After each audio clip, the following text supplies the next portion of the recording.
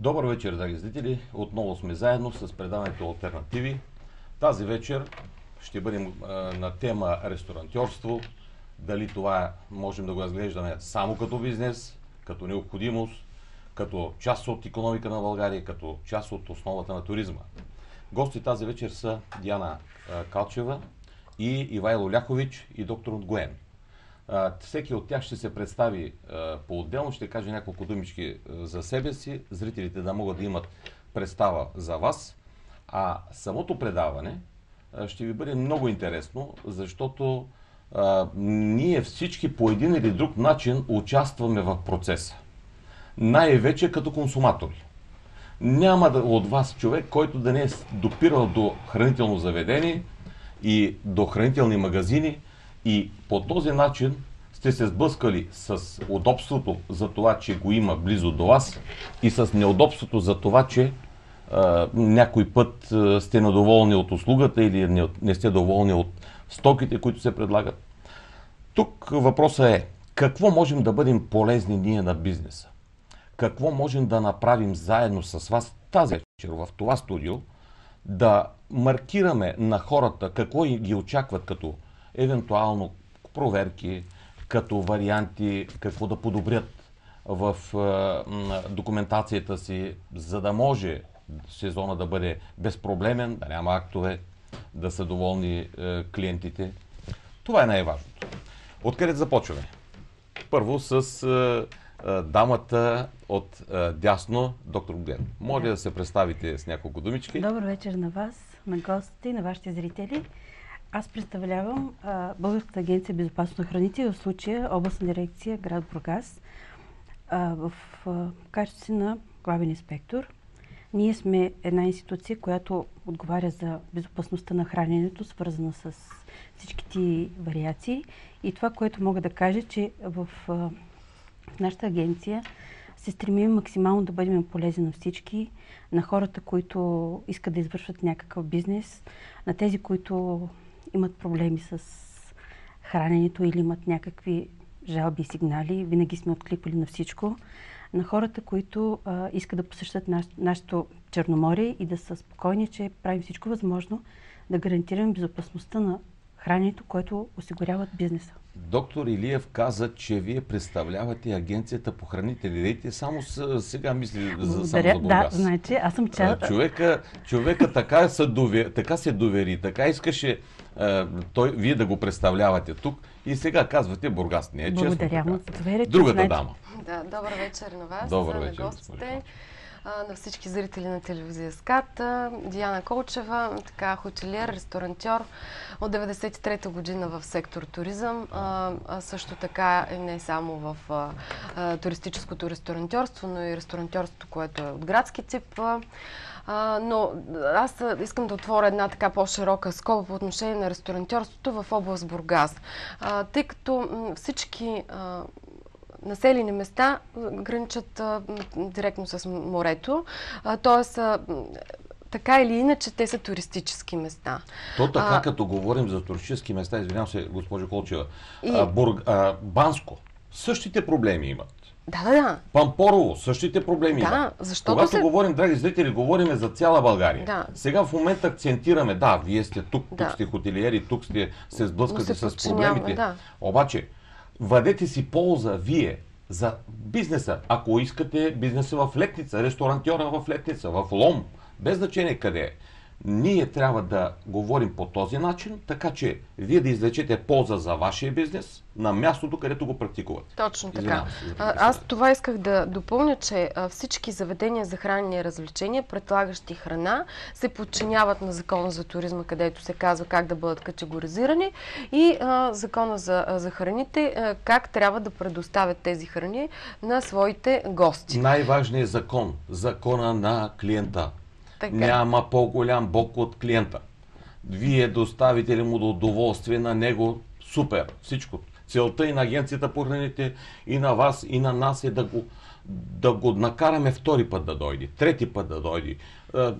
Дето се казва да създадем опашка от чакащи се. Така ли? Ми, дай Боже така. Това Закон- се постига, да, това се постига с едно много така добре а, предвидено качество на услугата, което Да. се предоставя не само от собственика с материалната база на ресторанта, т.е. добре оборудван и обзаведен ресторант, но и от а, качеството на обслужване на Да, персонала, да, който да, е а, в а, а, обслужващ гостите. И трети, третия компонент, който дава това качество е храната, която предоставяме на нашите гости. Тя трябва да бъде също с високо качество, добре изглеждаща и добре презентирана пред тях. Господин Ляхович, така ви заградихме с две дами. Да. Сигурно комфортно се чувствате. Моля няколко думички да се представите и да влезем в темата. Да. Искам да кажа добър вечер на вашите зрители и на гости в студиото. Аз съм от Несебър и се занимавам с хотелиерство и ресторантьорство от 95-та и 6-та година. Не е много лесен този Да. бизнес, но в годините, нали, в годините човек се учи и непрекъснато се развива. За мен много е важно, за мен много е важно държавата да осигури условията за бизнеса и административно. Защото там е, там е голямата тежест, който, която се струпва се стоварва върху бизнеса. Много сте прав. Но, но надявам се, ето тук е госпожата, която представлява институцията, максимално да бъдат облегчени търговците с каквото може, защото в администрацията да се управлява един ресторант се иска отделен човек, който да се занимава само административно, с графици, с... Детайлите са много.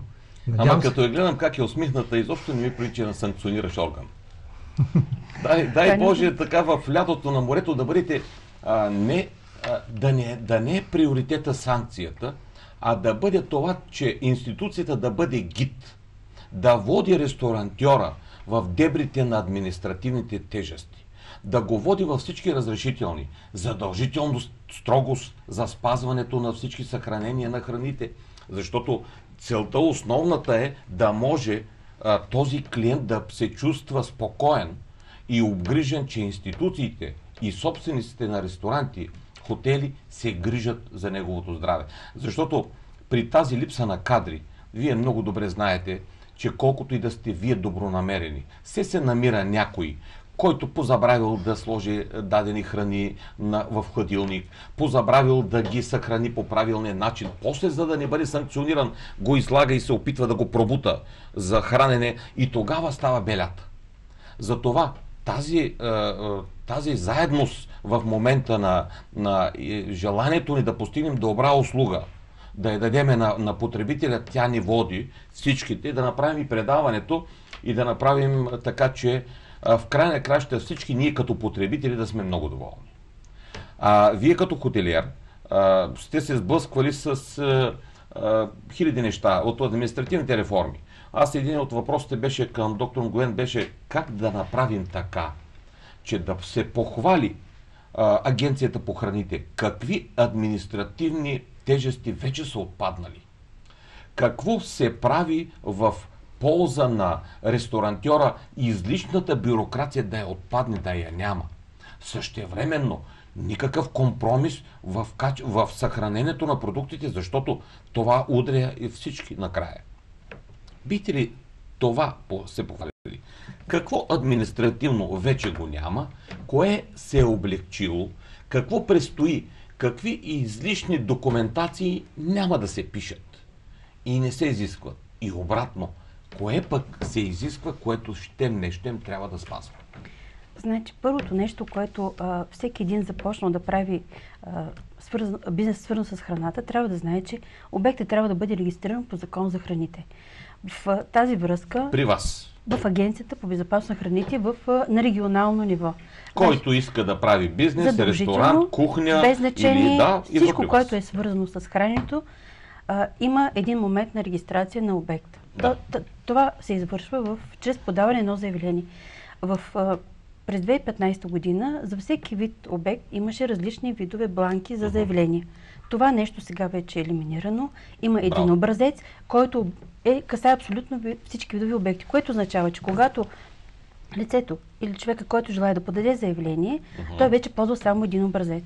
Другото нещо, което а, ние специално в Бургас сме внедрили, а предполагам, че и другите колеги навсякъде, винаги има дежурен. Значи в приемната, когато се подава документите, И съботи и недели. значи в събота и неделя ние не работиме. Но Да. а, ако се налага и през летния сезон, ако това е необходимо, даваме дежурства. А, чудесно. Така, значи, а, идвайки на место, човекът, който желая да се подаде заявление, има инспектор от служител от нашите колеги, който а, това е неговата функция да обясни на всички какво, как трябва да попълни този образец, какви документи, а, какво означава това заявление, какво трябва е задължително да представи и кое не е задължително, какво означава да има разработената система за самоконтрол, която е част от елемента на регистрация на един обект и а, тази услуга, а, смисъл такъв, ако някой желая, може по телефона да попита. Имаме, значи, опция. Телефоните са дадени в а, сайта на Мгм. БАБХ, на, в наш, на, нашия, на нашия адрес, имейл адрес на ОДБХ Така, Бургас. така. И всеки, който желая, може по телефона да направи това Абе, запитване. по-добре, драги зрители, когато Но откривате личното ресторант присъствие е или най-правилно. хранителен най-доброто. обект, или сте част от основата на един хотелиерски бизнес, където храненето е основно, я се разходете до агенцията по храните. Защото там вие ще може да обясните какви тип храни ще предлагате. И да направите пътна карта на храната. Суровината, като пристигне зеленчуци, месо, пристигат до обекта. Откъде минават, как се съхраняват, как се обработват, как се получава готовата храна, как се предлага на клиентите, как се съхранява тази, която е останала и до каква степен може да се съхранява и да бъде предложена после като годна храна. И а, това е този път на храната, интересува всеки от вас, който тръгва да прави хранително заведение, отивайки в агенцията по храните, вие получавате помощ. Какво трябва да направите, за да може да отговаряте на изискванията и температурни а, изисквания и там по разделност а, на съхранение и приготвяне и каквото е да било. Обаче, аз си спомням преди години, имаше едни много тежки а, разделности вътре в приготвянето на храната, които са абсолютно ненужни. Защото, когато сте у дома, представете си вашия хладилник да има а, хладилник за риба, хладилник за яйца, хладилник за месо, хладилник за млеко и зеленчуци. Тоест, тук върви ли агенцията в посока там да упрости нещата, сложните вътрешно потоци, но да не, да не е за сметка на, на сигурността на качеството на съхранението на храните и на самото им приготвяне. Ами, значи в самото представя, в самото съхранение на храните, в зависимост от капацитета на обекта, значи всичко е свързано с това какъв капацитет от хора вие ще храните.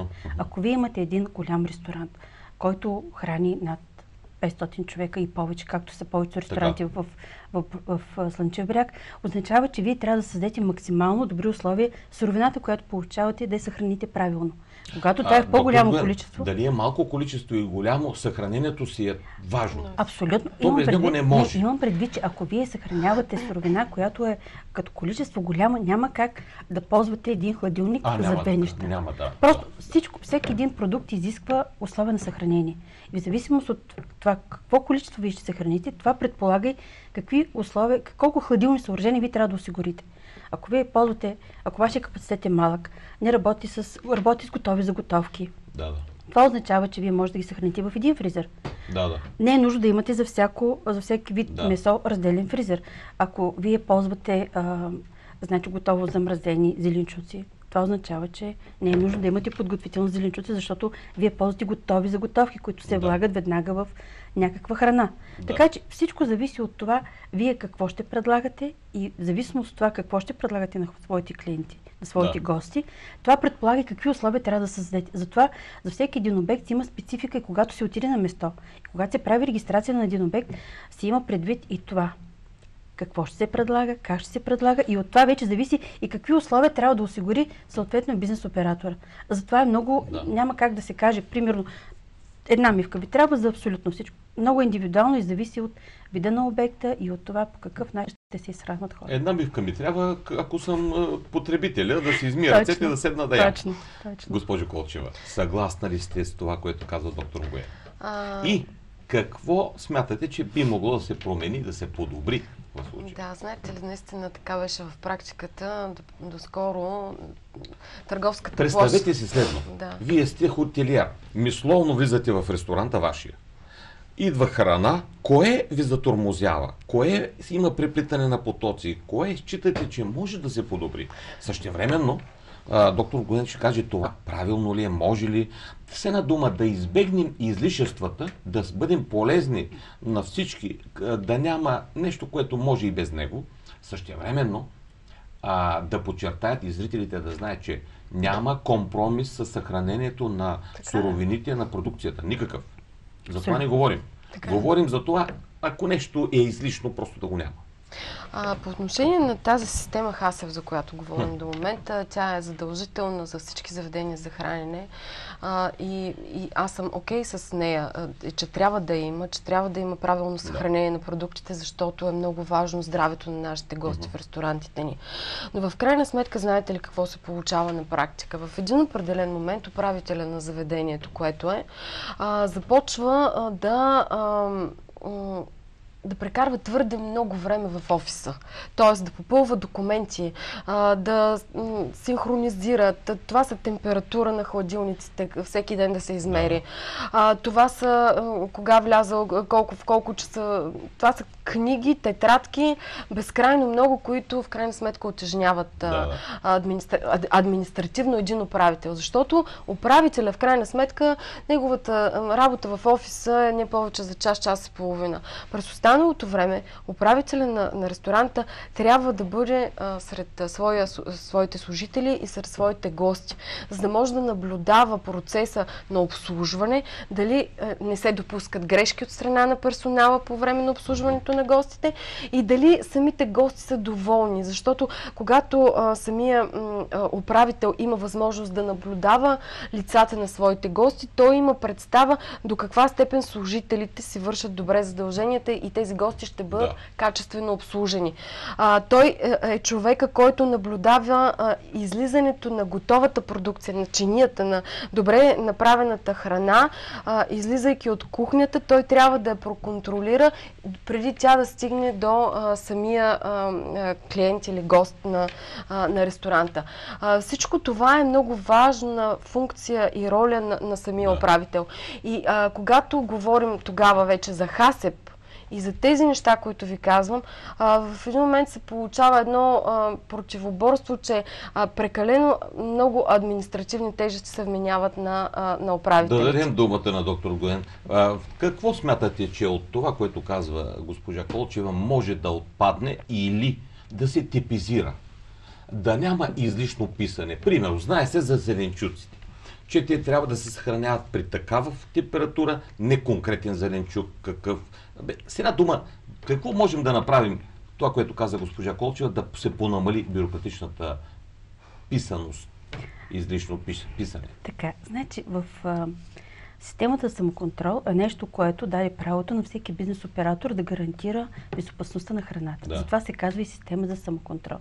Тя включва в себе си два компонента. Едната е така наречената система за добри хигиенни практики, които включват в себе си а, опцията да гарантира, че условията, които се осигуряват в един обект, отговарят на правилата, че има нужните а, хладилни съоръжения, че персоналът е с лични здравни книжки заверени, че е с чисто Но добре. работно облекло. Значи, това е вътрешната система за самоконтрол. Да. ХАСИП надгражда тази добра хиген, тези добри хигиенни практики, като в него вече е направен анализ какъв е най-рисковия момент, когато се приготвя дадена храна.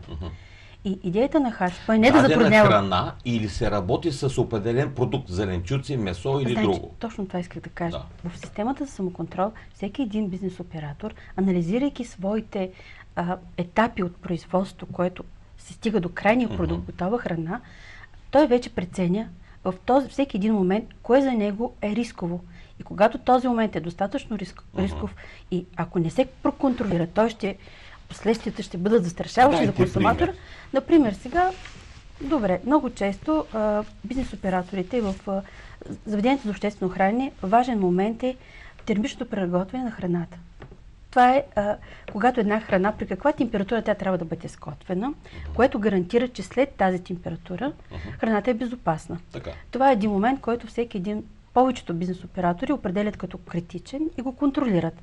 Това става чрез замерване на, сготвената храна с дигитални термометри и записването на тези показатели, че наистина храната е правилно сготвена. Това уп- управителя трябва да го прави или може да го Така. прави на по-низко ниво, готвач, помощник готвач.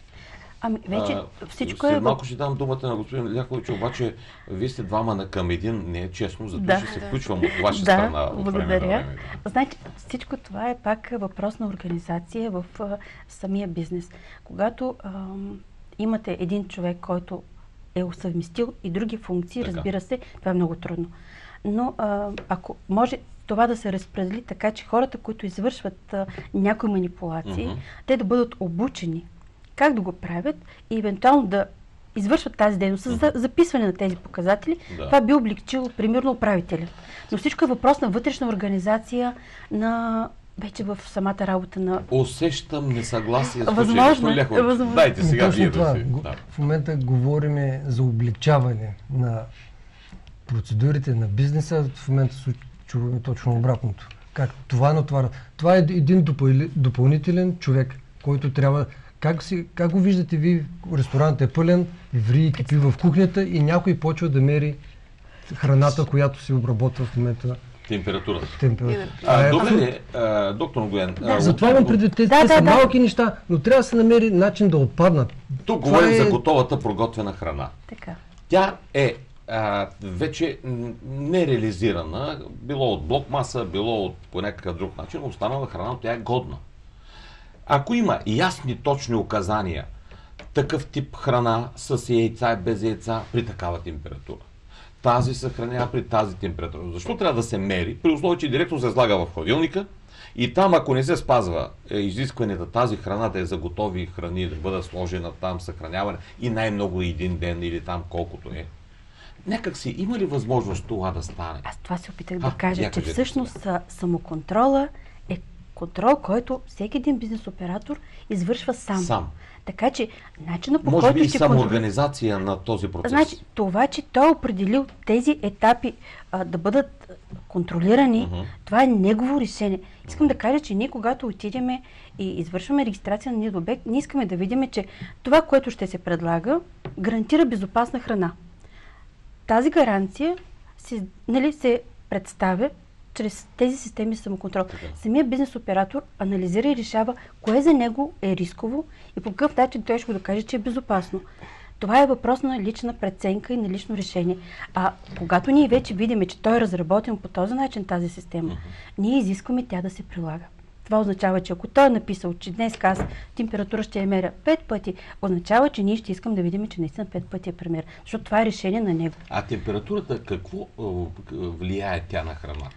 Сега, в, значи, ако говорим Да човека зна. Така. Като му падне на 35 градуса, Така. изтива, замръзва. Ама дайте при храната Сега, да видим какво много е важно, когато е една храна, която изисква хладилно съхранение, някакъв вид съхранение, Да. тя се определя от този, който я произвежда. Той е преценил, че когато храната е в тези температурни диапазони, примерно един млечен продукт, най- най-оптималната температура съхранение на млечен продукт е от 2 до 6.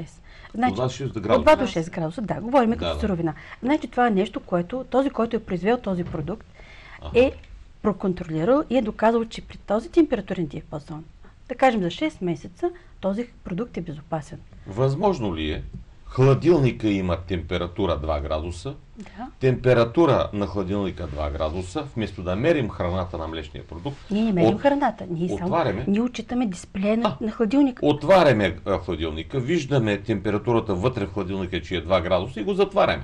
Добре. Тоест всичко Това в е, него. да, това е за хладилниците. Но когато Да. говорим а, за мерване на, на а, температурата при термична обработка, представете се едно кебабче, което се пече на скарата. Дали се е разболяло кебабчето по време на печене Дали това не, нали? кебабче е достигнало достатъчно висока термична обработка, за да се изкара от тази скара и да се предостави на госта. И вие се представете, омазания готвач, смазани ръце и тръгва той да замерва температурата, пък след това да отиде да я запише не някъде.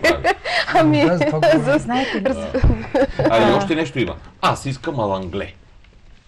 Тоест полуопечено Да. кебабче. Ами че то, ако е с много висока температура, то няма той ще се опече. Е, да. Следователно, тук има температура, която няма как да постигне. Какво го правиме този клиент? Ще му кажем не. Ние трябва да го изпечем, защото температурата не е постигнала. Не е постигната, така ли да кажем? Ами, значи, за да се стигне някаква, за да има някакъв температурен режим на изпичане или на изготвяне на храната, Така.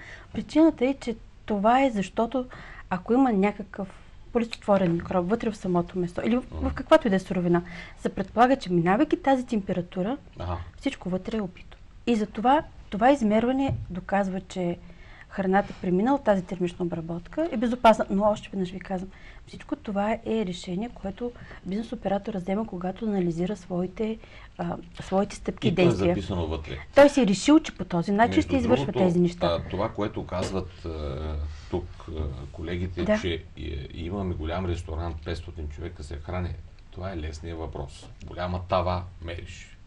Ама айде да минем на индивидуалния ресторант, когато има 30 индивидуални порции, които 30 индивидуални порции, той е лудно в момента откъде, как, какво да направи и е сам.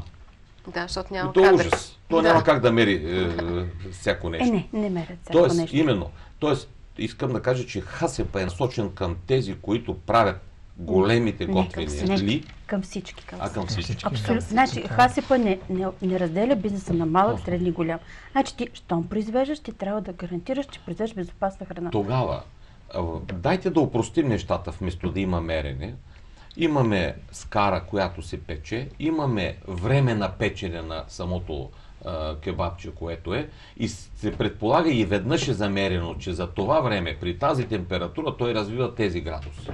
И той да не го прави постоянно, а да се знае, че включена скара, сложени 10 минути или 5 минути или там не знам колкото е, няма нужда да се мери, защото при на тази температура, то няма нужда да се мери. Аз само ще кажа следното нещо, че а, за това, което говорим, как се приготвя храната, в крайна сметка а, тези хора, които работят в а, кухнята, готвачи, професионалисти, те учат 4-5 години и получават квалификация Ох, и знаят много съгласен. добре. Да, да. В, а, това, Дайте го той дете учил 4-5 години, че да го толкова назначиме. в а, професионалните гимназии по туризъм децата се обучават в рамките на 4 години. Те имат практика, а, те имат а, а, а, дисциплини, които... Вие говорите за идеалния момент.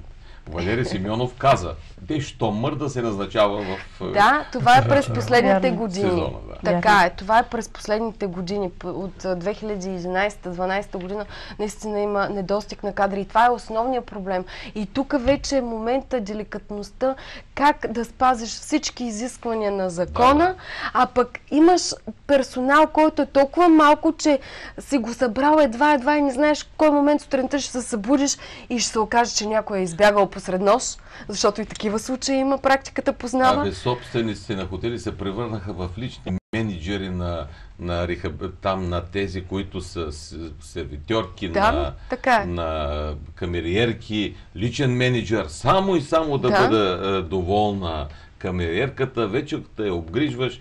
И не Обаче, само. драги зрители, това, което говорим е и така знаеме, че има административни а, още неща, които да се направят, но това е в полза на потребителя. Абсолютно. В е. полза на всички ни да сме спокойни, че този човек ще си тръгне жив, здрав и доволен. Ама вие... За това, за това тук заедно институцията и хотелиерите и ресторантьорите трябва да намериме формата и начина да си направим такъв тип хасеп, че като вземем на работа някой, който не е стоял 4 години в едно училище, да имаме шанса да го контролираме и самата система да го контролира. Точно. Много пъти съм казвал, че трябва да направим такъв тип система като бобслей. Като го пуснеш неподготвения, ще не ще ще финишира. Няма къде да излезе в ляво и в дясно. И затова може би ХСП е нещото, което а, може да, да се до- допрактицизира, до усъвършенства, да се Да. премахне излишната бюрокрация, но същевременно да се знае, че слагаш му кюфтето и кебабчето, не го мери, обаче му казваш, оттам не може да стои по-малко от 5 минути, примерно засечено. Слагаме яйцата, те не могат да, да, да, да бъдат еди какви си. Или слагаме супата, тя не може да, да бъде еди каква си. Тоест по този начин ние да, се, да направим несубективно зависима позицията, която заема определения а, индивид, защото не сме сигурни в неговата подготовка. Не сме сигурни, защото няма качества. Извинявам се, не качества, няма хора. Да. Сега в момента правим всичко възможно синята карта да стане факт и то така, че да бъде включени и тези а, м, остри, е, необходими професии, които за туризма са жизненно необходими, но къде ни е увереността, че този, който ще дойде, ще бъде достатъчно подготвен? Затова, дайте да помислим, заедно с институцията, как да направим така, че сложим ли го този на скара, сложим ли го да готви, да сме сигурни, че поне няма да увреди здравето на а, клиентите ни, а пък за самия, самия вкус вече там е друг въпрос. След малко ще говорим за вкусовите качества. Съгласни ли сте, господин Ляхов? Да, аз е, точно това, което говорим до сега, че задължително всички, повечето от изискванията, те задължително трябва да се спазват. Говоря за където просто процедурата е малко обрасла и е малко в повече. Дайте предложение, те са готови да приемат Ами, разглеждане. ето сега това точно, което коментираме е точно това. За едно кебабче, за едно мерене, това са дребни неща, Да, да. но те изискват време и, и човек трябва да се занимава Да, да, с да. тях. И говоря за дребни, не говорим за основните, които гарантират а, качеството на храната и, и всичко, което... А имате ли конкретни предложения? Какво да се промени? Как да стане, да им се предложи на институцията? Те са Ами- отворени. Хората вече няколко пъти предлагат законодателни нормативни промени, които сме готови да разглеждаме и сме готови да променяме. Без да нарушаваме процеса, сигурността на процеса. Да, да.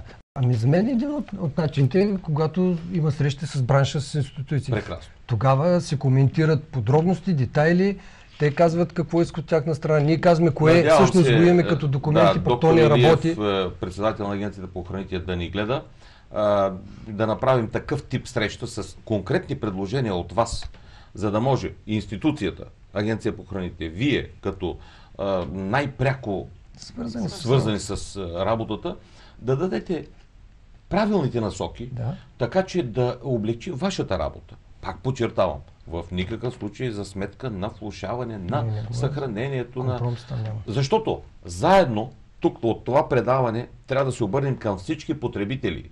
Всички, които гледат, са потребители. И ние трябва да им дъхнем увереност, че да са спокойни. Няма да допуснем неглижираност на процеса на съхранение, на готвене, на предлагане на храна и така И ще ви кажа каква е Да, практиката. кажете. Обективната реалност какво представлява в момента. Факт е, че а, ресторантьорите, които работят а, по всички изисквания на Агенцията по храните, на Закон за туризма и на всички останали закони, които регламентират дейността ресторантьорство, а, се стремят а, да постигнат а, всички онези а, задължения. Но има едни други обекти, които се наричат временни, които са заляли всички улици на нашата държава. Това са едни а, кебапчийници, едни пица на парче, едни м- катмаджийници, дюнерджийници. Как мерят те температурата? Ето, това беше моят въпрос. Смисъл? Как, примерно, временният обект мери и спазва хасеп и мери температурата, един, примерно, палачинки прави. Значи, самата регистрация на Я да един видим обект сега, да. задължително включва разработена система за самоконтрол. Ага. Тоест, това не е презумпция на конкретен вид обект. Това касае всеки един обект. Даже една сергия, която продава плод и зеленчук, трябва да има някаква разработена система за самоконтрол. да, да. Това, това не освобождава никой от тази отговорност. Да, как се замерват? По същия начин, какъвто и големия. Проблема е, че там персонал, да кажем, е двама човека или един човек. Един човек съвместява всичко. И добре или зле, те са длъжни да го правят. Когато ние отидеме и при, един, а, при една проверка установим, че има нещо, което не е направено, На което... всички, е, санкцията към всички е една Значи, и съща. а, нали санкцията така? е абсолютно еднаква. Закона не третира малки и големи обекти. Значи всички са обекти. Без значение дали е един човек или са 100 човек. Да. Санкцията е една и съща по закон за храните. А за временните обекти това, което мога да кажа, че когато гражданинът дойде и подаде заявление за регистрация и ни предостави а, разрешение за поставяне, договор за найем, Мгм. ние нямаме основание да му откажем, ако обекта отговаря на изискванията. Да, да. Така че, ако този човек има всичките нужни документи за регистрация, ние няма как да откажем такава регистрация. Да. Така че в случая тук вече трябва да вземат думата А и други ако този институции. човек, който дошъл там, не може да чете и да пише и се занимава с този обект и не може да попълва съответните си- Значи той не се регистрира. Не може да се регистрира. Значи, има си Защото изисквания. как да сме спокойни, че този, който е там, купуваме от него царевица. Купуваме от него нещо друго. Как да сме спокойни, че тая царевица е, е варена по правилния начин, на правилно място и консумираме и децата ни, особено те, както тате, искам царевица. Е, и добре, искаш царевица, обаче глождите сега, къде е варена тая царевица, откъде е, почваш да питаш откъде, кое село е. Дали е крал или не крал, вече това е другия момент, който почваме да се съмняваме. Има ли производител ли е, гледал ли е, има ли документ за покупката. Тоест не толкова за това, а за това да се види, да се види происхода на тая, Абсолютно. Тая царевица, тая суровина. То как се подхожда в този момент? Защото аз съм за това, обръщам се към всички зрители, за това нека да има микробизнес, малък бизнес, среден бизнес, обаче да има ред и да има а, контрол а, за, над всичко това. Защото там на тези хора, които са трудолюбиви. Виждаме ги, че а, да им се направи, да им се помогне да си направят своя малък бизнес. Обаче в никакъв случай отиват, идват от чужбина тур, туристи и накрая почват тя да ги разследват заради някакво хранително отравяне, а се установява, че са отишли, купили са си нещо Да, в е. страни обикновено се получава търпи такъв загуби Да. в а, милиони от а, такива рекламации, защото а, туристите се хранят по тези павилиончета, които са, за, както казах, залели градове и села, туристически и нетуристически. След което обаче Добре, те, те нямат Вие договор. направите по едни баничарници и едни царевици да, да това, ли варите? е, ли- това ли е лицето на Не, българския не, не, туризъм? говоря, че е вкусно. Кога българската баница да му я предложиш на, на, на турист, такъв смисъл говоря, Да, да. на туриста. Царевицата, кое е? Вкусно е.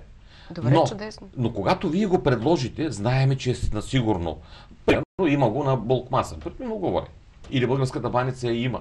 Тогава това, което той ще намери и, или кътмите, родопски кътми или там какви кътми, взема си, опитва, когато е ял, когато е вкусил, той няма да прави експерименти с...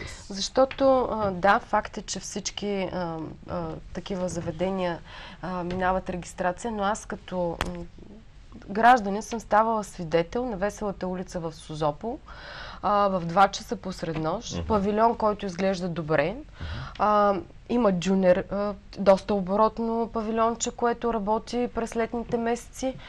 Чудесно, върви опашката и в следващия ме- момент минаваш отзад и какво виждаш? Пилета, легени и обезкостяване и низане на шиш на земята. На земята, разбирате ли? Тротуара, плочките, леген. В единия леген има пилета, в другия леген е обезкостеното месо. Ето тук е работата съвместната Ама на това е в вас два с часа. институцията. Нищо, че е два. Той, ако е в един път в два часа го прави, той други ден пак в два ще го прави. Да, Тогава вие, когато сигнализирате институцията и тя отиде и зададе въпроса от как да ви запечатам обекта? За винаги или само за годината? Тоест, тук въпросът е в това, че взаимната помощ между всички нас, потребителите също, агенцията, вие като хора, които искате да имате качествен продукт, който да вдигне нивото на България. И е, съм сигурен, че всички ние, които се стараем да вдигнем нивото на България, имаме интерес да не се случват такъв Разбира се. Доктор как ще подходите с един обект, който пилетата там в легените, отзад на, на пясъка, на земята, се нижат Ами, както се подхожда към обект, който е незаконен, Да. който не отговаря на изискванията. директно. Значи, а, обикновено, ако имаме подаден такъв сигнал или ако по някакъв начин ние имаме информация, Да. че се извършва такава дейност, ние винаги искаме съдействие от полицията. Организираме съвместни проверки с агенция по приходите, с НАП, с колегите от РЕЗИ. Тоест, правим една по-голяма, един екип от няколко институции, отиваме в обекта и кон- ако констатираме това, което нали, каза Да. дамата, Какво се прави? Значи това, което се установи на место, се възбранява, насочва се за екарисаж и се унищожава. На, на лицата, които извършват тази дейност, им се ставя акт по закон за храните и обекта се затваря. Да. Така, това е а, идеалният вариант. Много често получаваме информация за някаква извършена дейност, отивайки всичко е затворено, заварено, ние просто няма как да влезем вътре в обект. Да. Това е другия проблем, който означава, че а, ако, значи, да, примерно те а, така е недостъпно е местото и ние това, което можем да направим е чрез полиция, ако можем Значи, чрез тях да влезем. Не е проблема там, където отзад мога да го изтебнеш да го видиш.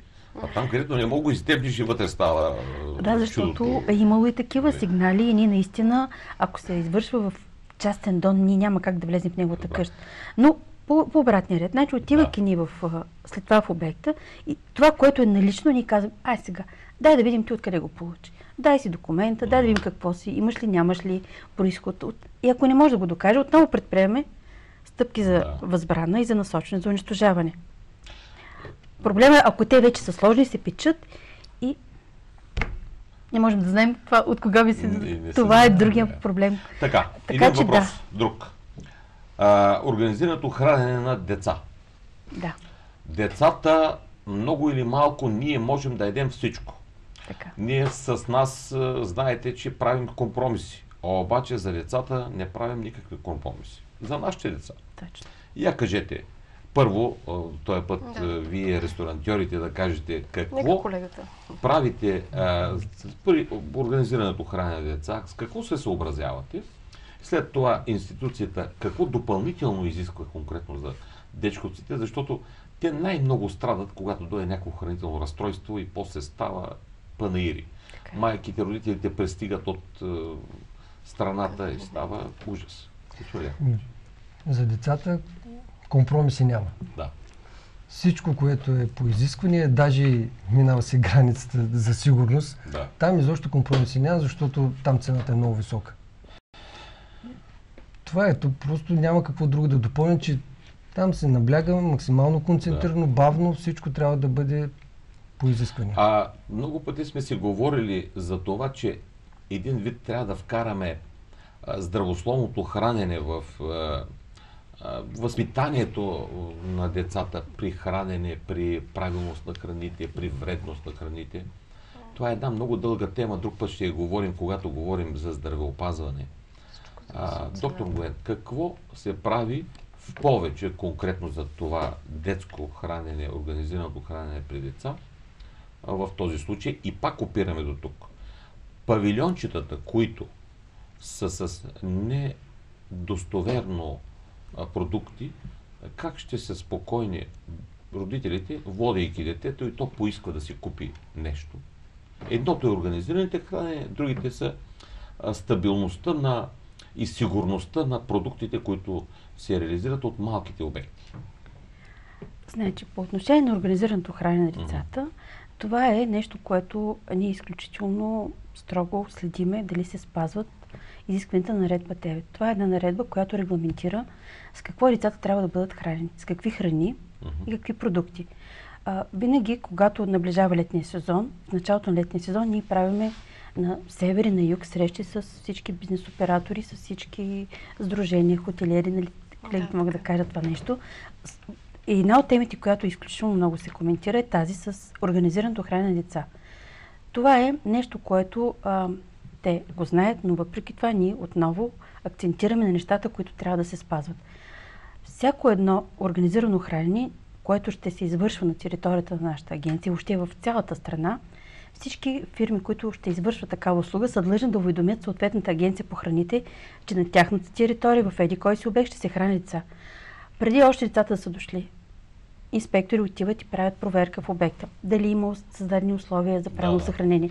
Много е важно децата да се хранят с а, утвърдени по стандарт храни, които са задължителни Там за млечни. Така. Там се Не. минава Да. сериозна Не, не, температурна... самата суровина. Да. Самата суровина трябва да е потвърден стандарт, Да, трябва да. да бъде а, 50, всичко, което е регламентирано. Трябва само да бъдат пресни плодове, всичко трябва да бъде най-качественото.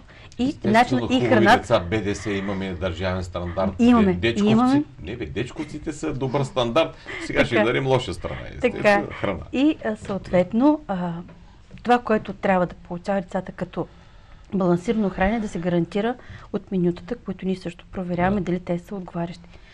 И след това, а, когато знаем, че някъде има организирано хранене, а ние на територията на Бургаска община, област всъщност, имаме много ученически лагери, особено към Обзор, Равда, надолу към ММЦ Примор. Така че това са моменти, в които колегите, които отговарят за тези райони, те са Да. постоянно там. Мога да кажа, че и миналата година и по-миналата въобще не сме позволили да имаме натравяне на деца. Какъвто и да е аспект. Значи това е резултат на съвместната работа на нас като Да. институция и на бизнеса за това, че е осигурил безопасност, Да. което е много важно. Да, Да добавя искам Да. нещо. Ето сега точно това, което казва а, представител на институцията, че големите обекти, когато всичко е организирано, контрол, контрол е завишен. Контрол е завишен и там почти проблеми няма. Но да, но да се върна това, което казахте ви за царвичката. А, Тя е на улицата. Там трябва да помислим. Там е ходочето, там е палачинката. Про- Бойчесаното Просто контрола, Именно. който трябва да оказва агенцията, трябва да е Ами, по-строг, ако знаеш- зависи нали, от вас всичко. Това, което ние можем... а, Защото всъщност големия обект гарантира качеството Да, да, да. и на, на храната, нали, обезопасено е всичко за децата. Там няма проблем. Но също тези деца излезете на улицата. така е. Да, да, всъщност ние ги пазим в един момент. Го, обекта а, осигурява условията, Да. но той като излезе и Получава се нещо странно в нашата държава. По, по отношение на храните имаме регистрационен режим за всички обекти, които произвеждат хранителни продукти. Така. В това число круасани, а, от тези снаксове и Абсолютно. така нататък. Как се допуска производството на боядисана вода с захар, която няма никакви хранителни стойности, която е вредна за децата, която е м- вредна въобще? Как се допуска такъв продукт да бъде на павилиончетата? И децата да, да си купуват? Ето тези предложения, които сега излизат тук, за вредни храни, храни, които са непрепоръчителни, храни, които, да не кажа увреждат, но биха били съмнителни за нормалното здраве на децата, такива да отпаднат от е, места, където те имат достъп до, до... Пак защо не и на възрастните хора? Абсолютно. Защо трябва е, боядисана вода, ще трябва да пие някой? Е, няма смисъла от това.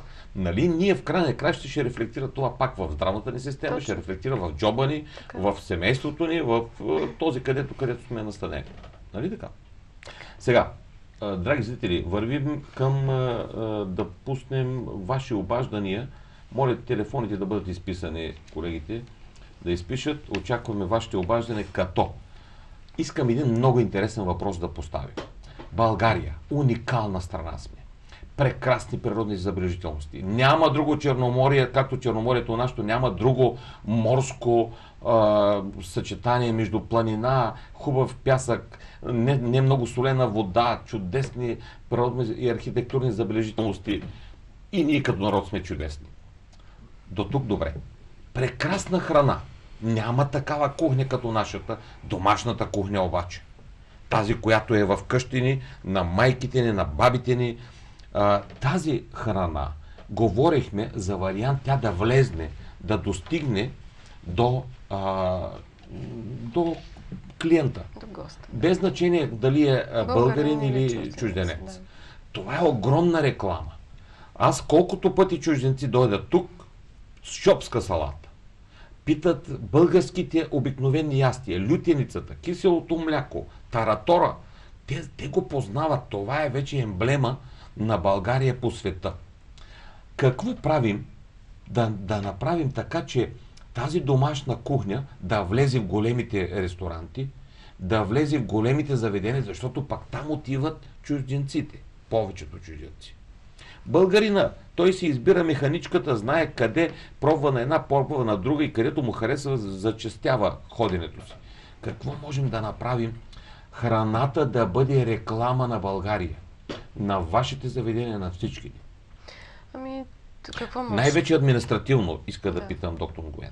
Защото ние приехме в момента а, в Народно събрание а, законодателни промени, в които да се облегчи домашната храна, домашното производство да бъде предлагано, да има начин, по-бърз начин за предлагане на този тип храна, този тип приготвени е, продукти. Но как те могат да достигнат, е, примерно, питата челен мед, ама така както си е питата, да пристигне в големия ресторант. Киселото мляко подквасено, истинско, пълномаслено мляко, да и сирене да, да достигне до големия ресторант. Тук е малко сложничко, но това как да го, да го постигне? Що да е сложно? Ха, я кажете. Ми, значи, аз мога да кажа, че в а, България има много производители, които наистина произвеждат качествено истинско мляко, сирене, Да. без да е вложено никакво, никаква растителна мазнина или някаква допълнителна млечна компонента. Просто имаме наистина много качествени храни. А, имаме храни, които даже са си защитени като специфични храни. А вие говорите за...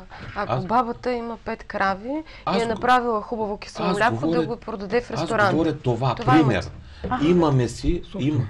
Ага, Собствено им- производство. Значи, има так, значи в, а, от 2010 година има една наредба, казва се наредба 26, която е свързана точно с производство на малки количества храни, а основно яйца и млечни продукти, мед, които позволяват аз ако имам три животни, да си направя едно малко обекче, в което аз да си произведа примерно 10 кг сирене, 5-6 кг кисело мляко Така. и да си го продавам. А може ли тя, жената, тази, която го е произвела, да го предложи на хотелиера? Разбира се. Може. Просто трябва да се регистрира по тази. Значи, тази наредба позволява точно това.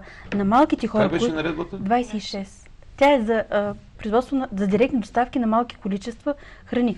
И там е регламентирано къде и какво може да се предлага. Даже в момента имаме вече а, няколко такива, м, даже и мобилни обекти, където се продава си собствено производство, сирене, кисело мляко, прясно мляко. Той има животни, има 10 животни и не иска да ги продава в а, някаква мандра да му, или някой друг да му го изкупува да го произвежда. Той си регламенти... ре- ре- регистрирал се като такъв производител. Обръщаме се към зрителите. Да. Малките производители, вие, тези, които произвеждат, имате няколко крави, произвеждате сиренце, имате кокошки, имате там а, Мед, пчели имате. мед пчели. Вие може да се регистрирате по наредба 26 за доставка На малки от, като малки производители до търговски обекти и по този начин ще може да достигнете до хотелиера, до ресторантьора, където вашата продукция би могла да бъде предложена директно. Това е чудесно облегчение, защото доскоро, до преди няколко години не можеше да се случва това. Сега в момента имаме такъв достъп. Да, разбира се. Чудесно. Тя просто го позволява. И, но този, който иска да прави това нещо, той значи, има си Сложна ли е няколко... процедура? С няколко думички да обясните на зрителите. Значи, а, Как може жената, която произвежда млекце или пчеларя, да достигне до хотелиера в Слънчев бряг? Как? ами първо той трябва да създаде минимални условия. Самата наредба регламентира, казва какво точно трябва да се осигури. Значи трябва да осигуриш минимални условия, свързани с това, че млекото, което ще Мгм. ще си, то ще е от твоето първо, работиш единствено само с твоите, с твоите суровини. Тоест млякото е само Аха. от твоите животни. Звънкат ви на вас, вие давате консултация Значи- към на какво помещението да Така, отговаря. с- сама, в самата наредба е регламентирано какво точно трябва. Добре. Обяснявам, то е много елементарно Добре. какво трябва да има, но да, човек идвайки в агенцията по храните, си подава такова заявление, в което той обяснява, че първо а, казва, че аз имам животни и искам а, млякото, което си получавам, да го правя нещо. Да. И ние, го, ние го вписваме като производител на сурово мляко. След което той каза, аз вече това мляко искам да правя сирен или кашкавал и съм създал тук в тези две стаи тези и тези условия. Да. Подава се заявление за регистрация, ние отиваме, казваме да, ти имаш Благодаря. възможност Или за това. коригирате, Или да, на дава предписание, с Така. което Това той съответно. Значи след което вече той, ако отговаря на изискванията, му даваме правото да си предлага тази, тези произведени храни. Като условието в тази наредба, единственото ограничение е, че това, което предлагаш, може да го предлагаш в региона, в областната дирекция, в която си произведен и съседа на нея област. Това е единственото ограничение. Ако, примерно, той е от Бургас, може да, да реши да продава в Бургас или в Тежко им Ямбол. горко от Перник не могат в Слънчев Не, бряг да реализират. Защо не. така трябва да има това още? Ами няма? съжалявам, такава е. А транспортирането Да. би... Да, са- Добре, ли е То транспортирането на да меда, това- какво му пречи? За меда, значи, на единственото, ограничение, което не въжи е само за меда. На меда е разрешено Да. в цялата страна, но за всички останали е ограничено. А млякото, ако той се го транспортира в а, малко да. хладилно, не може. Не. Това Добре, е така е пак- регламентирано. Все пак има добър, Абсолютно. има напредък, който разбира може се. да бъде да, да, се използва, да се възползват. Всички вие, тези, кои, които произвеждате, имате краставици, домати, произвеждате някаква, някакъв продукт. Бихте могли Те са да... като земеделски производители, те са регламентирани Да. като земеделски производители, които произвеждат плод и зеленчук. Значи той е регламентиран като земеделски производител, произвежда си нещо, иска да го занесе, той просто го Аз носи не с... познавам ресторантьор, който да откаже такова Да, качествено.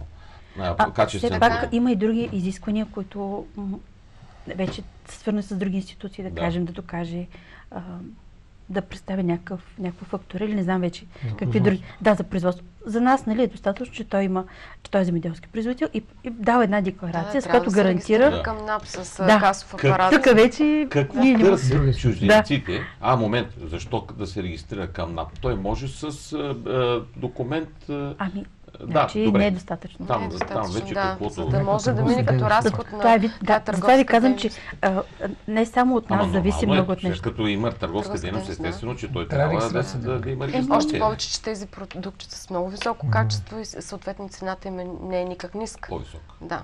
Така Я че... кажете чужденците какво търсят българско. Какво, за да може да наострят уши тези, които са производители точно на това и да ви търсят, за да могат да се реализират продукция. Ами, вс- всеки гост, който пребивава в България, се възхищава на всичко това, което правим ние българите, защото ние сме изключително изобретателен народ и а, представяме продукцията си много добре. А, облагодетелствани сме от, за това, че туристите пристигат на място и не е нужно жената от а, Карнобат, която произвежда киселото мляко, да го изнесе до туриста. Той идва и го консумира на място. Факт е, че всички се възхищават на българското кисело мляко а, и питат а, как е произведено, дали е отговаря Да. на стандартите Да. и така нататък. А, възхищават се и на, както казахте, и на лютеницата, и на меда, и на всичко, на тахан халвата, въпреки че а, е има и в съседна Турция, но а, нормално е балканските страни да преплитат кухнята си, но а, в крайна сметка тези туристи наистина се възхищават на, на всеки. Ако във всеки един ресторант има штант или топла витрина или студена витрина, на която да пише, че е от български производители, висококачествено а, и Съмнявате ли се в качество? на водата. После ще ви кажа. Добре. Да. Значи, сега това, което каза преди малко а, Диана Колчева, е много правилно. А, и тя а, в един разговор преди предаването бях изключително впечатлен от това, че вие, драги зрители, малките производители, можете сега, в момента, в България да станете износители. Как? Да. Предлагайте ги тази ваша продукция на чужденците, които идват тук в България, вие де-факто, чрез това, че те си остават еврото тук в Окей, България, така е. ставате износител Това е. на тази продукция. Точно така. Де-факто, пазара се премества в България, западния пазар Точно така. и източния пазар. Разбира се, пазара туристически се премества в България и ние тук имаме възможност да на внесем място. национален доход Да. и да изнесем нашите продукти На място. чрез на място. Да, Аз ще ви на дам. Да, само пример с, а, с меда. Значи правят си туристически обиколки от а, комплекс Слънчев бряг с а, определен брой автомобили точно до селски, до села, където има кошери. Аха. И там си купуват меда, консумират го на място. Абе, Това е- докато не го ожили пчелата, той не признава, Така че е. е ял мед Така е. от кошера. Точно. Така ли да, Да. разбираме? Да. А, това е много хубаво, прекрасно. Вие правите ли такъв тип? Ами, Аз имам мои познати, които го правят А, и, чудесно. и, са, и са много доволни. Производството им всяка година се Хайде увеличава. да защото- разширим това. Да. Да могат хората в региона да, да усетят това. Изключително е важно. А, разбирате ли, аз много често така говоря и споря с колеги, че вместо да отидат и да си купят дини, които са произведени в град Любимец, нищо Да, лично да. към град Любимец, могат да отидат до село Извор в община Бургас и да си купят изворски дини и пъпеши, които са изключително вкусни. Там има изключително много полета. Просто понякога на тези бедни хора не им достигат средствата да си купят авто, автомобила подходящия, за да достигнат до, до потребителя и очакват а, ние, ресторантьорите, да отидем при тях. И така, че е добре наистина ресторантьорите да се интересуват и хотелерите съответно, къде има такива малки производители, за да ползваме тази продукция, а, колеги. Много е важно. Така подпомагаме собствената си економика, правим износ на място, т.е. не търсим а, пазари навън, а пазара е при нас. А, от друга страна, економически подпомагаме държавата си, създаваме работни места и българите няма да ходят в чужбина да работят като наемници, а ще произвеждат на място и ще продават на място. Така държавата ни естествено ще бъде по-стабилна економически и всички ще бъдат задоволени. Доволни са ресторантьорите, Да. доволна е институцията, че е създала условията за а, да се реализират тези а, от тези малки производители. Вие като такива сте доволни, защото може да намерите по-пряк пазар. След малко ще, защото телефона виждам тук, че звъни непрекъснато, ще дам думата на някои граждани да се обадят. Обаче ви моля, драги зрители, да бъдат конкретни въпросите, касаещи ресторантьорството, храненето, туризма, неща, които са по темата, защото ако не са по темата, ще бъда по-бърз в отговорите. Ало? Вечер, господин Колев. Добър вечер, моля да се представите. А, Нинков съм от Боженци. Слушам, господин Минков. А, ами, тя работата е много лесна. Само, Я че собственика на хотела трябва да е и готвач. Ако няма готвач, да си купи готвач. Лоша работа, така е, А правилно. не истината, господин Колев. Отговорността, отговорността е на готвача. Аз бих ви предложил нещо друго, което смятам за разумно, така както аз съм, аз съм го правил преди години. Слушам. 4 часа наемам си персонал за летния сезон. По- По-дълго е при нас в Балкана. Да? 4 часа го обучавам, 4 часа работи. Тоест, Никога. вие го, вие извършвате практическо обучение на този персонал. А, така и така се задържи персонала. Той се приспособява и към собственика, и към мястото, и към всичкото. Това е най-идеалният. Той го практикуват и в Унгария, и в, а, в Чехия ми се струва, но в Унгария със сигурност го знам. Той докато не си обучи персонала, как ще му вярва? Първа и втора смена, един е готви по един начин, други готви. Я кажете, като дойдат в Боженци, какво работи- търсят Е, туристите? Ма, Какво искат да... За той, понеже продавах Да. на паркинга, Да. Слутия паркинг, аз ще ви изпратя там документите, още не съм нагласил всичкото. Да. Като е, продавах долу на паркинга яйца, има глоби кметицата на Габово 500 лева, че продавам домашни яйца. И тук е... Момент, Също- момент, ма, доктор Глен, това нещо сега има ли го или това е било Яйцата старо? Много, той в палачинката и в заливките, ама навсякъде има яйце. А те в тия големите вериги слагат печата на яйцето предния ден, когато е излязло от камерата. А, Знаете ли, лято, лято като дойде, о, е, с яйцата трябва да сме много внимателни, че да не стане Точно беличко. така, точно така. Обаче Боженци е, цело... практика? Боженци е целогодишен курорт. Тоест, искам да кажа туристическа дестинация. Това значи, че а, спокойно през другото време, вие спокойно тези яйца, които имате или други, може да ги използвате в продукцията си в... а, Аз това съм правил, но аз имах горе-долу 50 кокошки. Ама и 50 кокошки аз не мога да ги използвам всеки ден. Да, да. И ги продавам на определени хора. В един момент стават малко повече, аз ги свалям долу на паркинга, аз вземах пари от паркинга. Да не се правят на А разсеяне имате на- ли регистрация по тая наредба 26 за малък Иска, производител? искаха ми да имам 300 кокошки. А вярно ли е Мога за да такова за да се регистрирам. Момент само да питаме доктор Гуен, да, е, тя наясно ли е или да го запишем като въпрос, По-добре, който... да, нека Значи този въпрос ще зададеме и ще потърсим до каква степен говорим за малък производител, защото как 300 кокошки? Представете си една е малка... ферма. Една, той си е направо ферма. А, няма как. Тук идеята е малкият производител, микропроизводител да влезе, да е готов, да има възможността да си реализира продукцията на пазар, било, било в, пряко в ресторант, като той си става а, търговец и производител, а, регистрира се по наредба 26 като малък производител Точно. и оттам насетне вече да може да си реализира продукцията директно. Така ли? Точно, да. Така ли е, господин? Аз ви разбирам много добре, но до тук всичкото може да се избегне. Да. Тия регистрации на пазара пак ти искат.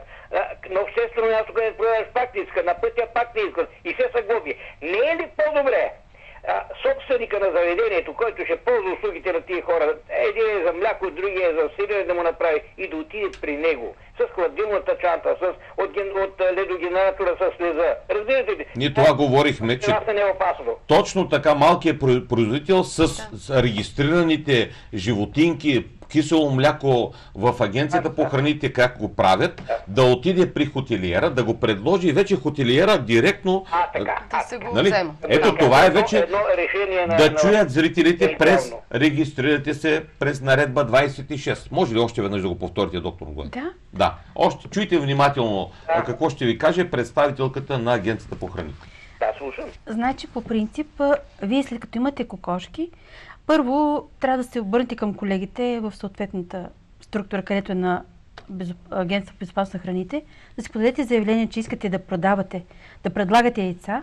Те ви вписват като производител на малки количества за яйца и вие вече с, това вписване и с една декларация, която вие давате или предлагате, си я държите там при вас, ако някой иска да ви провери, вие удостоверявате, че тези деца са ваши и ви гарантирате, че те са безопасни. Това наредбата ви го регламентира и ви го разрешава. Може, А, а чувате. въпросът е, че обектът, в който... тогава? а, Ама въпросът това е е, било преди. Въпросът е, че обекта, Да, е обекта много- Аз се записах какво трябва. а, трябва да имате все пак и място, където ще предлагате тези яйца. То също трябва да има регистрация. Не може да отидете на улицата и просто да ги продавате тези яйца. Ама той е в моя имот, бе, господин Именно де. собственик на земята, където... Точно това казва госпожата, че вие си го регистрирате, правите си И вие от- маса, и от по, по, мя- там, която... Яйцата изискват условия от 5 до 18 градуса. Ако е есен, зима, студено няма проблем, но когато да, е да, лято, да. трябва да има хладилник, трябва да има а, така си- да ги съхранявате, и, и, няма и, как. си продавате, и си продавате единствено и само свои яйца, никакви други. Нали така? Да не вземете да купувате яйца да продават. Ама не да купувам и да продавам, аз продавам и пастър, продавах и пастърми и суджуци, които ги правя на место, но само от дома. Като искаш ела от дома, вземи си. Реже му питла и си го взема. А, тук, Ами че да, момент, тук чудесно. влезнахме вече в... Чудесно, е, Така да, вече- цяла Да, Италия, да, цяла Италия само яйца. се издържа по този начин. Я Има кажете, малки... чуйте госпожа а, Колчева за Италия, ще ви да. каже хубав пример. А, Я кажете. всеки от нас е пътувал, ходил е там и, и там има малки а, производства, домашни, т.е. Семейството работи с стара рецепта, която е, се предава от поколение на поколение, примерно някакъв колбас. И в Германия е така, и в Италия, и във Франция. Всеки, който има в наследство такава рецепта, той може да произвежда, да продава. Дори а, в Италия в един, от в един ден от седмицата всички такива производители се събират на едно място в Рим и започват а, безплатна дегустация на преминаващите туристи по улиците на Рим, за да опитат а, производството на а, италианските малки производители, не големите а, производства, колбасарници и цехове. Говорим за малкия производител. Тоест тук е мястото и ролята вече на а, институциите, на администрацията, на парламента да направят така, Да, е, че вашето Благодаря филе много Елена за да- обаждането. Да сте да жив и здрав. Благодаря я за. Всичко добро. Виждате ли, а, човека има желание да го прави. Ние като държава трябва да му дадем възможност той да се труди. Защо трябва да го ограничаваме? Да му създадат условия. Именно. Да, да Защо да трябва да го ограничаваме? Съвет. А, и аз сега си подготви стаята така. Тук едно хладилниче да купиш. Пак ще дойда. След 20 дни да те проверя. Ама въпросът е, че има възможност да го направи. Именно. Има възможност да а го да направи. забранява. И на този човек аз ще му пратя в Боженци колко хора да отидат там на място, да опитат да, да, да... Тоест, това е от дума на дума, как човек, аз ще отида там да опитам. Кулинарния гурме туризма вече е, вече е факт.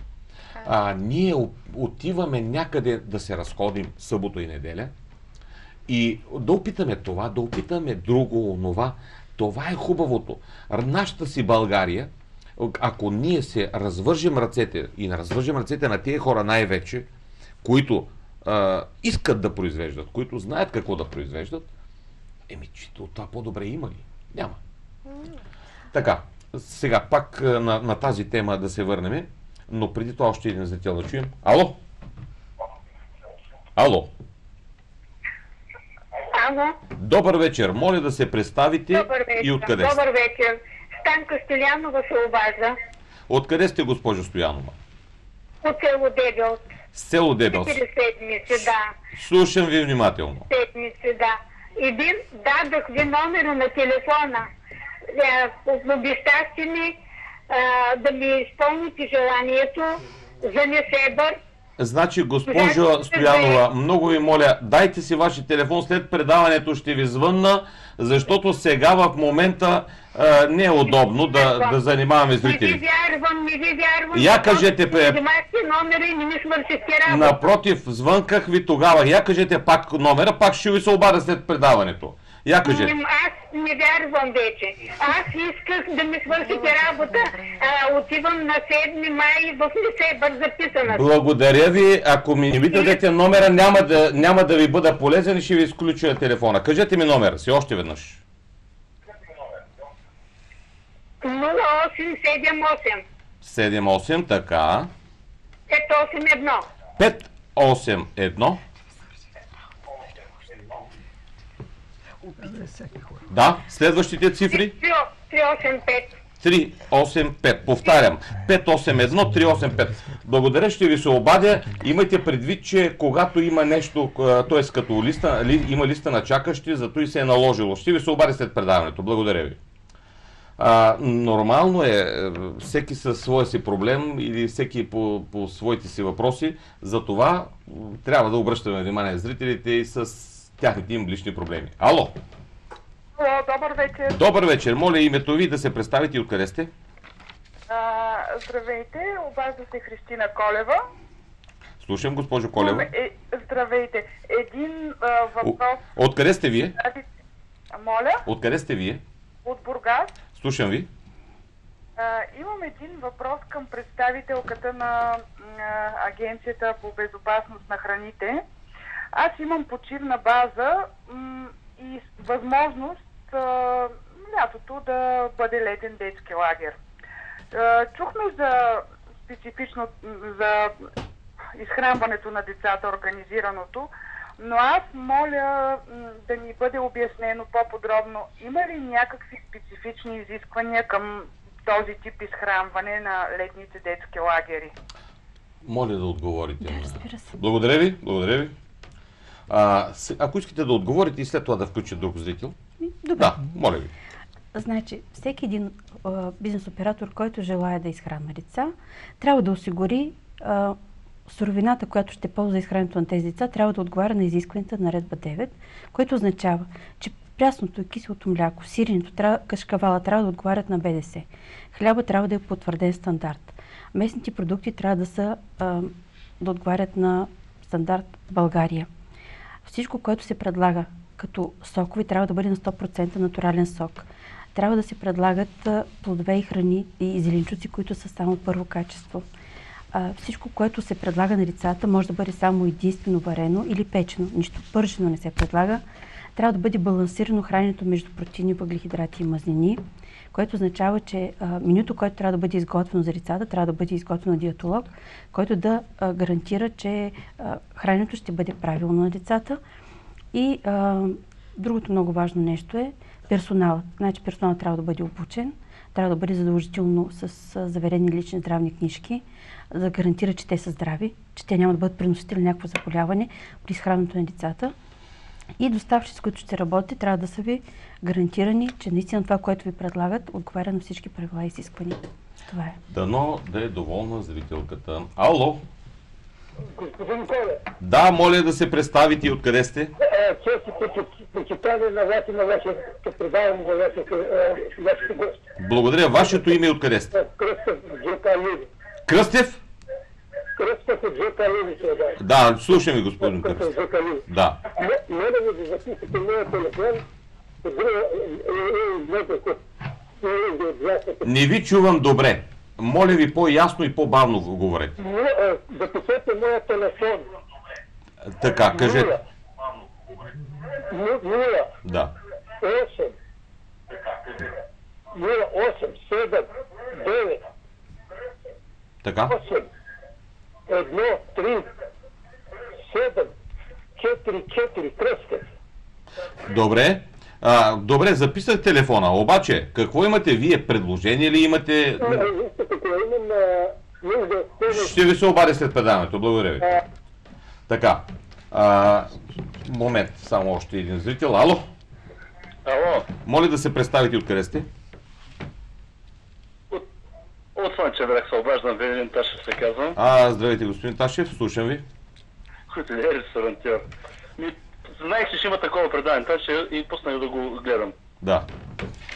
Искам да ви кажа, че от няколко години за първ път вие в лицето на, на тази институция нямаме, не сме, как да ви кажа, не сме врагове, а сме партньори. Това се иска.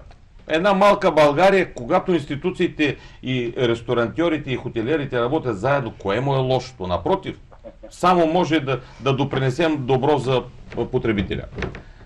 Проблема обаче е в нормативната обект, уредба. Това, което го ви каза госпожа Колчева Да. за Хасапа. Има толкова ненужни неща и безмислени, които и самата агенция знаят много добре. Всичко това, което те изискват от нас, не те, а закона, а, съответно и те след това, а, просто е абсолютно излишно. Просто едно писане и ни хора по цял ден пишат едни тетрадки и всички знаят, че тези тетрадки са а, скалапени. Може ли да направите конкретни 400 предложения? човека персонал. Айде ми кажете как всяка сутрин трябва да запиша кой кога е дошъл на работа, кой си е измил ръцете, кога сме извили вратите, кога сме не знам си какво сме направили, кога сме си мили таваните, кога сме си мили пода. За съжаление, много сте прав. А, знаете ли, може ли вие, като хотелиери, асоциация, институцията, агенция по храните, да направите предложения, дайте конкретни предложения, как това да се а, м- премахне като бюрократична тежест, но да остане като контрол, защото и вие имате а, ползата от това този а, така, а, работник, който знаете колко трудно вече работници можем да, да наемиме, които са качествени с доказано а, обучение, да сме спокойни, че няма да прецакаме накрая потребителя. Така да направим, че да облегчиме вас, ресторантьорите и хотелиерите, същевременно с излишни бюрократични тежести, но същевременно да е като а, не, една, един алгоритъм на работа, който да бъде проконтролиран и да сте спокойни и вие, че той е... Представете си вие, назначите а, съответния служител, обаче той здравната му книжка е фиктивно взета. Там а, а, Да, фалшиво. така. И той зарази сумата и народ наоколо. Какво правим тогава? Разбирате ли? Говорим, не говорим за това. Да. Не говорим за това. Това вече, как, как кой му е дал, това е друг, друг проблем. Така. Въпросът е след като той е дошъл, дал си здравната книжка, откъде на къде аз или моя управител, моя служител, всеки ден ще го записва, ми те са в ресторанта на хотела са, Да. човека само в ресторанта. Всеки ден трябва той да стане в 6 часа и другите да дойдат да почне да ги записва кой кога е дошъл, дали си е измил ръцете, дали са му чисти дрехите, Да, да, да, да. дали, дали Много сте прав. И така нататък. Значи, вижте, какво продукцията в големите обекти, като нашата, започва още от самото начало, преди да се отвори обекта, започва контрола върху него. С изискването за, за разрешение за ползване, при нас има толкова много изисквания, че ние а, ги спазваме, защото ако не ги спазваме, няма как да ни дадат разрешително за, за ползване. Така че нашите обекти са перфектни. На мен не искат 11 камери. Нека да отидем в едно павилонче, което казват е, госпожата там господина, да видим къде вътре има не 11 камери, защото те са малки, има 11 хладилника. Да, да. Месото, е, за месото замразеното, за месото, което е, е незамразено, за рибата отделно, за пилето отделно, за всичко. Това е голям проблем, но това е изискване, което ние сме длъжни да го спазваме, защото ние храним 500 и 1000 човека. Ние не протестираме против това. Дай Боже да, да, да ви е по-дълъг сезона, защото България има нужда от сериозен туризъм. няколко години ние всяка пролет провеждаме срещи, организациите и, и Съюза на частни хотелиери, и, и клуба на, хотелиерите. Те идват, когато ги поканим на нашето събрание и е, нямаме никакъв проблем с тях. Хората ни казват и за алергените, казват не се жпетата, всичко сме го сработили. Не, не е като други години, като Дора да почнем да се караме веднага за всяко нещо да, да. отделно. Да. Обясняват го, казват го, правим го другия път, като дойдат. Да, ако не сме го направили, ще нам накажат. Но това бюрократичното нещо, което е, тормози всички ни, те бумаж, тая бумащина, мисля, че няма никъде. Е- Може ли, господин Ташев, в, в рамките на седмица-две, вие да дадете предложенията, поемам ангажимента да ги, да ги обсъдим, да ги предложим на ръководството на Агенцията по храните, за да се търси а, отпадане на тези бюрократични а, изисквания, които, без които считате, че може. Ние сме ги предлагали на тях и вярвам, че те са ги предложили нагоре. Може ли още веднъж да, да ги предложите на, на мен ми ги дайте, ще ги предложа на а, директора на Агенцията по храните, за да се сформира работна група, която да потърсиме вариант и депутати, и Агенцията по храните, как да облегчим а, бизнеса в а, неговата работа. Винаги, когато кажете, винаги ще седнем на една маса. Много благодаря. И ще ви направим всичките предложения. Въпросът да има кой да ги погледне. Който може от тези работи срок за е разглеждане. нещо страшно. както казва а, господин Ляхович, трябва да има срок за разглеждане. Да, вие ги предлагате, слагаме срок, молим а, всички колеги да се включат, и депутати, и агенцията по храните, сформираме работна група, прави се. И това нещо, след месец и нещо, съм готов да направим предаване и за туризма, за да го кажем, да, ето това и това направихме. Готов съм. Готово? Много благодаря, господин Ташев. Жив и здрав. Да чуем и друг зрител.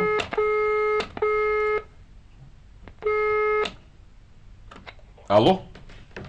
Ало? А, добър вечер. Добър вечер. Вашето име е откъде сте?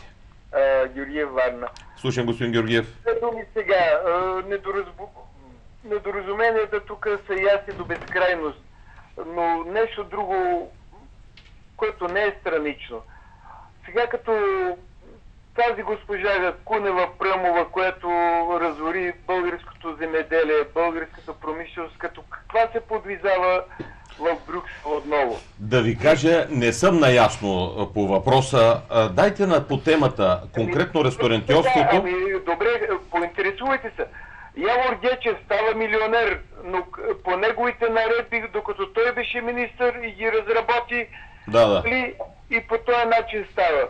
Лека вечер. Благодаря ви много. Зрителите си имат да. своите права. Искат е, да разберат защо някои хора е, нищо не направили за България, пък е, понатрупа някой друг милион. И, и са прави. Така че... Ало? Ало? А, говоря с предаването. Ще Да, моля вашето име и го откъде сте. Аврам Динев, Динев. От... Първомай. Слушам, господин Динев. А, господине, вие сте сериозен човек. А, ще, само нещо ще кажа. Постановление 26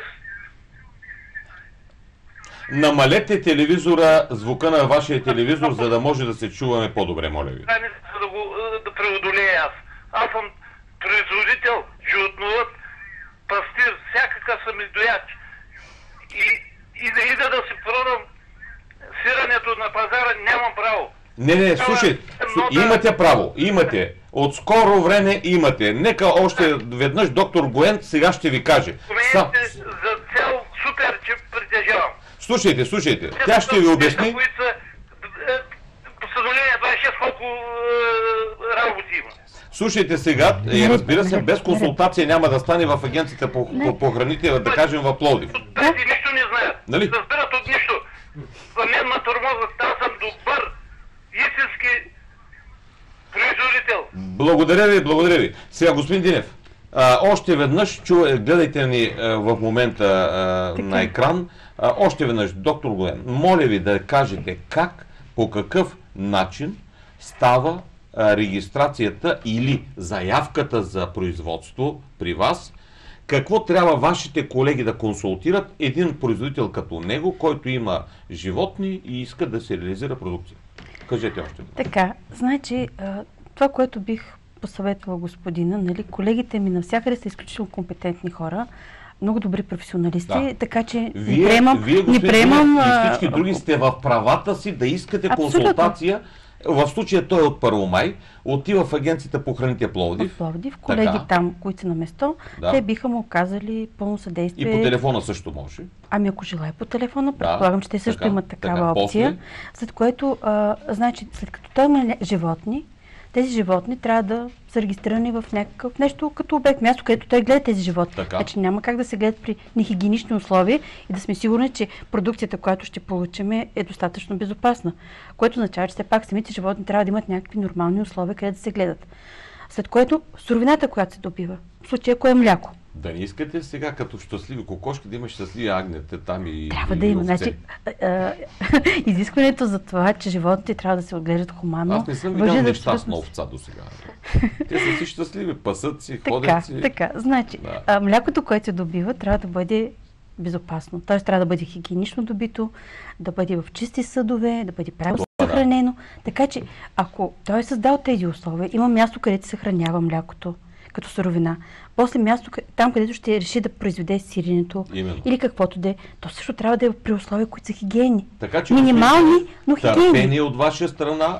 Това не са а, така проформа изисквания. Не, не, не, в никакъв случай. Защото тук говорим да постигнем здравословна храна Безопасна, до а, потребителя. И имате право. Вече може да реализирате вашата продукция, така че... Но трябва купите. да бъде? Ало, Моля, вашето име и откъде сте? Иван Георгиев се казвам. Да, господин Георгиев, слушаме ви. Откъде сте ви? От, а, от района на Велико Търново съм. Слушам, господин Георгиев. Адмирации, първо към вас и вашето предаване и вашите гости. Но имам една забележка така лека към докторката от Българската агенция безопасност. Кажете, моля ви. Значи, а, аз съм също регистриран по наредба 26, но на практика не стоят така нещата. Защо? Става производство за добив на сурово края мляко. Защо?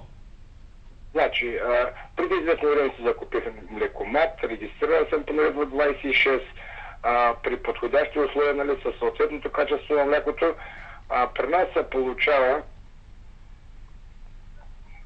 Да, слушам ви.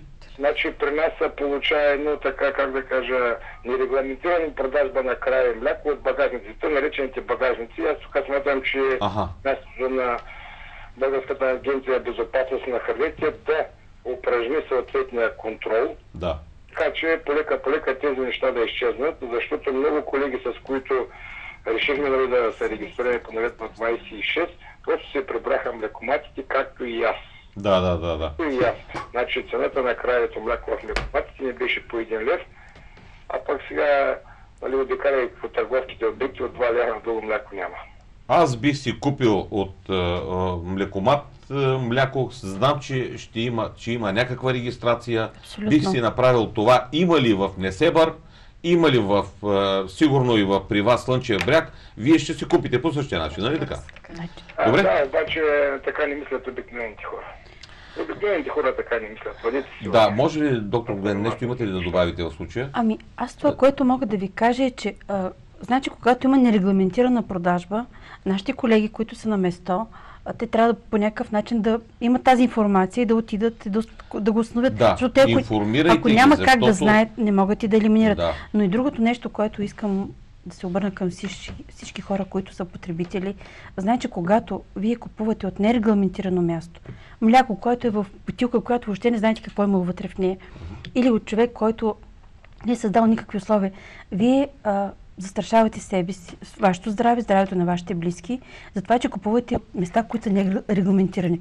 По този начин вие а, подпомагате така наречената сива економика. Значи хората, които са Да. направили някакви условия да, да гарантират безопасност на храната, значи осигурили са си млекомат, млекото, което изслед, а, предлагате безопасно, изследвано. И това не се ползва от клиентите. А отива и се купва от улицата, Да. където не се знае как Благодаря, е господин съхранено. Значи, все пак ние като клиенти, като потребители, също трябва да има една култура на клиента. Да знаем къде отиваме За какво купуваме. съжаление, Много е предаването важно. е към края си. Толкова Много бързо. е добре, да, много е добре, което казвате да чуят зрителите. Абсолютно. Колко време имаме, колеги? А, приключваме. А, значи, вървим към края на предаването. Обаче, да знаете, че всички вие, производители, малки, средни производители, които имате продукция, която считате екологична, добра, която натуралния си вид да достигне до хотелиерите, до ресторантьорите, те искат вашата продукция. Потребителите искат тази ваша продукция. Малко трябва сега да се извърви пътя. Наредбата я има. Желанието на институциите има. Те са готови да защитават потребителите, вас, производителите, вие, ресторантьорите и хотелиерите. Време е да преодолем тези малки стъпки, една, две, пет стъпчици, които да започнем да свързваме качествения производител с ресторантьора, с а, тези а, туристи, които биха желали да повтарят и да искат и да отидат в тези ресторанти втори, трети, четвърти, пети и да питат, абе, къде е тая храна? Бях впечатлен миналия път, искам пак. И съм много благодарен за темата, която първо ме подкрепихте, второ, второ представихте на зрителите. Към края на предаването няколко думи. Госпожо Колчева. Да. А, пожелавам успех на всички от тези, които са решили да предприемат действия и да предлагат наистина качествена храна към а, туристите и въобще гражданите на Република България. И призовавам също така а, да институциите, държавата, парламента, правителството, всички отговорни органи в тази държава да се заемат и да започнат да работят така добре, че сивия сектор да не расте, защото през последните няколко години процента на сивия сектор нарасна в всички економически сектори на държавата ни. А, така че, а, когато сивия сектор намалее, повече економически ръст ще има и повече доволни клиенти. Сега, господин Ляхович, накрая доктор Гоен ще бъде. Mm-hmm. Вашите така последни думи. Апел. Точно това ще да, да кажа. Отново апелирам към институциите в България да минимализират бюрокрацията върху малкия бизнес и ресторантьорството. Да. да отпадне тази бюрокрация, която е твърде голяма и взема, както казах и по-рано, допълнително един човек трябва да има да се занимава само с да. графиците. И другото важно нещо е контрола, в, който осигурява агенцията, най-вече по улиците за тези нерегламентирани обекти, които да. са в сивия сектор. Доктор Плане, вие сте. Ами аз това, което искам да кажа, че ние като институция, всички мои колеги много отговорно и много сериозно си вършат работата. Те а, се стараят а, да гарантират на, нашите, на всички нас, които сме консуматори, че предлаганата храна е безопасна но много зависи и от това ние като консуматори също да контролираме производителите и тази нерегламентирана продажба.